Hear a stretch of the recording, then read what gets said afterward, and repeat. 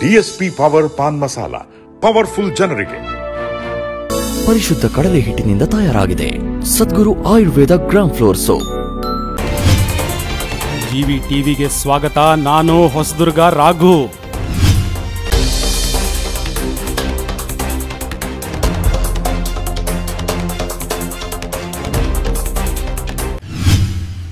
ಇಲ್ಲಿ J D S ಮೂಲೆ ಗುಂಪು ಅನ್ನೋದಕ್ಕಿಂತ ಸರಿಯಾದ ಒಂದು ವ್ಯಕ್ತಿ ಇಲ್ಲ ಅನ್ನೋದೊಂದೇ ಕೊರತೆ ವಿನಃ ಜೆ ಡಿ ಎಸ್ ಯಾವಾಗಲೂ ಇಲ್ಲಿ ಬೇರೂರಿರೋಂಥದ್ದಿದೆ. ಯಾಕೆಂದರೆ ಇವತ್ತು ನೀವು ಕಾಂಗ್ರೆಸ್ ಕೂಡ ಬಂದಿದ್ದಂಥವರು, ಅದು ಕೂಡ ಈ ಕೇವಲ ಹದಿನೈದು, ಇಪ್ಪತ್ತು ವರ್ಷದ ಹಿಂದೆ ಬಂದಂಥದ್ದು ಕಾಂಗ್ರೆಸ್ ಕೂಡ. ಅದು ಅದಾದಮೇಲೆ ಈಗ ಕೇವಲ ಐದು ವರ್ಷದ ಹಿಂದೆ ಬಂದಿದ್ದು ಬಿ ಜೆ ಪಿ. ಅದಕ್ಕೂ ಮುಂಚೆಗೆ ಯಾವುದು ಕಾಂಗ್ರೆಸ್ಸು ಅಷ್ಟೇ ಇತ್ತು, ಬಿ ಜೆ ಪಿ ಅಷ್ಟೇ ಇತ್ತು. ಆದರೆ ಬೇರೂರಿ, ಬೇರು ಮರವಾಗಿದ್ದಿದ್ದು ಜೆ ಡಿ ಎಸ್. ಅನಿವಾರ್ಯವಾಗಿ ಬಂದಂಥ ಕ್ಯಾಂಡಿಡೇಟ್ಗಳು. ಸರಿಯಾದ ಸ್ಪಂದನೆ ಇಲ್ಲ ಅನ್ನೋದಕ್ಕೋಸ್ಕರ ಜೆ ಡಿ ಎಸ್ ಹಿನ್ನೆಲೆ ಆಗಿತ್ತು ಬಟ್ ಇವತ್ತು ಕುಮಾರಣ್ಣ ಅವರು ಹಿಂದೆ ಎರಡು ಸಾವಿರದ ಹದಿನೆಂಟರಲ್ಲಿ ನುಡಿದಂತೆ ನಡೆದಂಥ ವ್ಯಕ್ತಿ ಸಾಲ, ರೈತರ ಸಾಲ ಮನ್ನಾ ಮಾಡಿದರು. ಅದೇ ರೀತಿ ಮುಂದಿನ ದಿನಗಳಲ್ಲಿ ಅವರು ಇರುವಂಥ ಯೋಜನೆಗೋಸ್ಕರ, ನಾನು ಮಾಡುವಂಥ ಯೋಜನೆಗೋಸ್ಕರ ಇಡೀ ನಮ್ಮ ಹೊಸದುರ್ಗ ತಾಲೂಕು ಈ ಸಲ ಜೆ ಡಿ ಎಸ್ಗೆ ಅತಿ ಹೆಚ್ಚಾಗಿ ಎಪ್ಪತ್ತರಿಂದ ಎಂಬತ್ತು ಸಾವಿರ ಮತದಲ್ಲಿ ಈ ಸಲ ನಾವು ಜೆ ಡಿ ಎಸ್ಸು ಗೆಲ್ಲದೆ ಗೆಲ್ತೀವಿ ಅನ್ನೋದೊಂದು ನಮಗೆ ಧೈರ್ಯವಾಗಿದೆ. ಕುಮಾರಣ್ಣವರು ಬರೋದಕ್ಕಿಂತ ಮುಂಚೆಗೆ ಕೆಲವರು ಗೊಂದಲದಲ್ಲಿದ್ದರು ಯಾಕೆಂದರೆ ನಾವು ಕುಮಾರಣ್ಣವರು ಬರೋದಕ್ಕಿಂತ ಮುಂಚೆಗೆ ನಾವು ಇಲ್ಲಿ ಜೆ ಡಿ ಎಸ್ ಕಟ್ಟಿದಂಥವ್ರು. ಯಾಕೆಂದರೆ ನಾನು ಆಗಲೇ ಹೇಳಿದಾಗೆ ಬೇರೂರಿರೋಂಥದ್ದು ಅದನ್ನು ಹಿಂದೆ ಇರುವಂಥ ಅರೆ ಕಾರ್ಯಕರ್ತರನ್ನ ಮನವೊಲಿಸಿ ಕರೆತಂದು ಇವತ್ತು ಅಷ್ಟು ದೊಡ್ಡದಾದ ಫಂಕ್ಷನ್ ಮಾಡೋಕ್ಕೆ ಕಾರಣ ಇರುವಂಥ ಎಲ್ಲ ಜೆ ಡಿ ಎಸ್ ನನ್ನ ಕಾರ್ಯಕರ್ತರು. ಜೊತೆಗೆ ಇವತ್ತು ಕುಮಾರಣ್ಣ ಬಂದು ಹೋದ್ಮೇಲೆ ದೊಡ್ಡ ಅಲೆನೇ ಎದ್ದೋಗಿದೆ. ಹಾಗಾಗಿ ನಾವು ಯಾರ್ಯಾರು ಇವತ್ತು ಬರೋದಿಲ್ಲ ಅಂತ ಹೇಳಿದರು, ಅವರೆಲ್ಲ ಸಮ್ಮುಖದಲ್ಲಿ ಬಂದಿದ್ದಾರೆ, ಸೇರ್ಪಡೆ ಆಗಿದ್ದಾರೆ. ಈ ಸಲ ನಮ್ಮ ಹೊಸದುರ್ಗ ತಾಲೂಕಲ್ಲಿ ಹಿಂದೆ ಇಲ್ಲ, ಮುಂದೆ ಇಲ್ಲ. ಹಂಡ್ರೆಡ್ ಪರ್ಸೆಂಟ್ ಈ ಸಲ ಹೊಸದುರ್ಗ ತಾಲೂಕಲ್ಲಿ ಹೊಸ ಇತಿಹಾಸ ಬರೆಯೋದಂತೂ ಸತ್ಯ, ಈ ಸಲ ಜೆ ಡಿ ಎಸ್ ಗೆಲ್ಲೋದೂ ಅಷ್ಟೇ ಸತ್ಯ. ಇವತ್ತು ಕಾಂಗ್ರೆಸ್ಸು ಐದು ವರ್ಷ ಇತ್ತು. ಇವತ್ತೇನು ಎರಡು ಸಾವಿರ ರೂಪಾಯಿ ಮತ್ತು ಗ್ಯಾರಂಟಿ ಕಾರ್ಡ್ ಕೊಡ್ತಾ ಇದ್ದಾರೆ. ರೈತರಿಗೆ ಇನ್ನೂರು ಯೂನಿಟ್ ವಿದ್ಯುತ್ ಕೊಡ್ತೀನಿ ಅಂತ ಹೇಳಿದ್ದಾರೆ. ಅವ್ರ ಸರ್ಕಾರ ಇದ್ದಾಗೆಲ್ಲ ಸುಳ್ಳು ಭರವಸೆ ಕೊಟ್ಟಿದ್ದು ಯಾವುದೂ ಕೊಟ್ಟಿಲ್ಲ. ಪರ್ಸೆಂಟೇಜ್ ಸರ್ಕಾರ ಅಂತ ಕೂಡ ಅವ್ರಿಗೂ ಕೂಡ ಹಿಂದೆ ಬಿರುದು ಬಂದಿತ್ತು. ಬಿ ಜೆ ಪಿ ನಿಮಗೆಲ್ಲ ಗೊತ್ತಿರೋಂಥದ್ದೇ. ನಲವತ್ತು ಪರ್ಸೆಂಟ್ ಸರ್ಕಾರ. ಇವತ್ತೇನು ರಾಷ್ಟ್ರೀಯ ನಾಯಕರು ಲಗ್ಗೆ ಇಟ್ಟಿದ್ದಾರೆ. ಯಾಕೆ?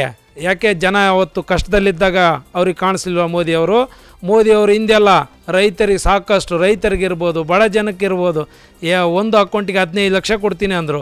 ಸಿಲಿಂಡ್ರ್ಗಳು ಫ್ರೀ ಕೊಡ್ತೀನಿ ಅಂದರು, ಸಬ್ಸಿಡಿ ಕೊಡ್ತೀನಿ ಅಂದರು, ಎಲ್ಲ ತೆಗೆದುಬಿಟ್ಟು ಇವತ್ತು ಜನರಿಗೆ ಯಾವ ರೀತಿ ಪರಿಸ್ಥಿತಿಯಲ್ಲಿ ಕೊಟ್ಟಿದ್ದಾರೆ, ಮೋದಿ ಎಲ್ಲ ಶಾ ಶಾ ಆಗಿರ್ಬೋದು, ಮೋದಿಜಿ ನಮ್ಮ ಪ್ರಧಾನಮಂತ್ರಿ ಮೋದಿ ಆಗಿರ್ಬೋದು, ಯಾರೇ ಎಷ್ಟು ಸಲ ರೋಡ್ ಶೋ ಮಾಡಿದರೂ ಕೂಡ ನಾವು ಏಕಾಂಗಿ ಹೋರಾಟ ನಮ್ಮ ಜೆ ಡಿ ಎಸ್ ಪಕ್ಷ, ಕುಮಾರಣ್ಣವರು ಮತ್ತು ನಮ್ಮ ಮಾಜಿ ಪ್ರಧಾನಿ ದೇವೇಗೌಡರು, ಅವರು ಮಾಡಿದಂಥ ಸಾಕಷ್ಟು ಸಹಾಯಗಳು ಇರ್ಬೋದು, ಜನರಿಗೆ ಸೇವೆ ಆಗಿರ್ಬೋದು.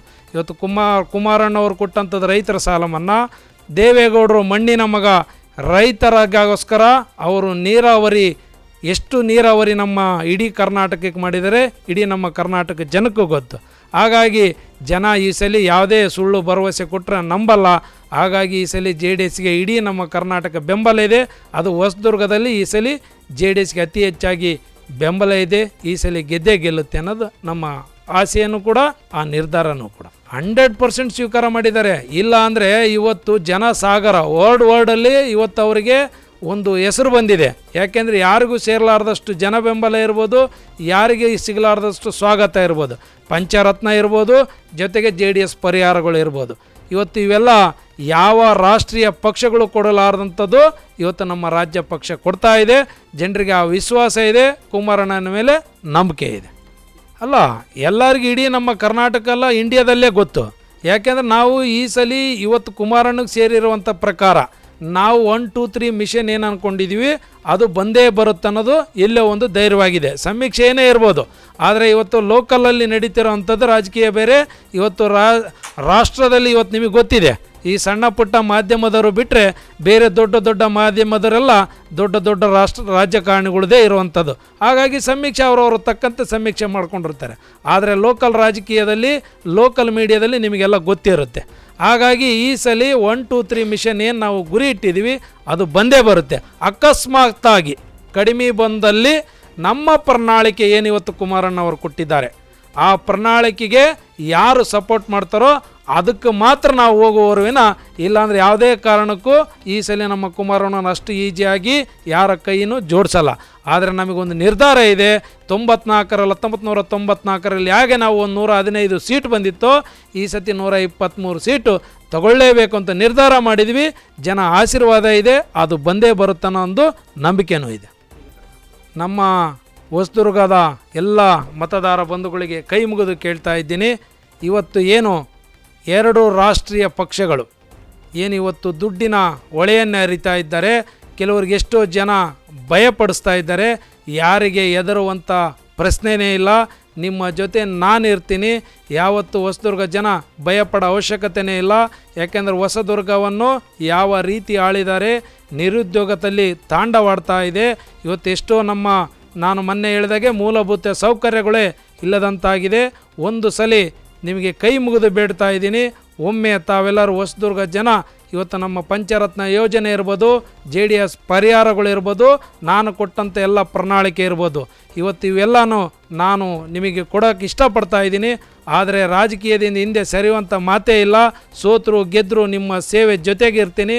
ಹಾಗಾಗಿ ತಾವೆಲ್ಲರೂ ಹೊಸದುರ್ಗ ಜನತೆಗೆ ನಾನು ಕೈ ಮುಗಿದು ಕೇಳ್ತಾ ಇದ್ದೀನಿ. ಇದು ಒಂದು ಬಾರಿ ಹೊರೆ ಹೊತ್ತ ಮಹಿಳೆಗೆ ಸೀರಿಯಲ್ ನಂಬರ್ ಎರಡಕ್ಕೆ ತಾವು ಅತ್ಯಮೂಲ್ಯವಾದ ಮತವನ್ನು ಕೊಟ್ಟು ಕೊಡಿಸಿ ಈ ಸ್ತುರ, ಈ ಸರಿ ಹೊಸದುರ್ಗದಲ್ಲಿ ಅತಿ ಬಹುಮತದಿಂದ ಗೆಲ್ಲಿಸಿಕೊಡ್ಬೇಕು ಅಂತೇಳಿ ತಮ್ಮನ್ನೆಲ್ಲರನ್ನು ಕೈ ಮುಗಿದು ಕೇಳ್ತಾ ಇದ್ದೀನಿ ಮತದಾರ ಬಂಧುಗಳು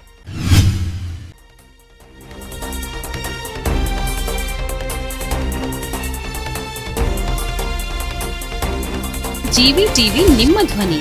ಪ್ರಾದೇಶಿಕ ಸುದ್ದಿ ಮತ್ತು ಮನರಂಜನಾ ವಾಹಿನಿ. ಇದು ಕೋಟೆನಾಡಿನ ಕನ್ನಡಿ.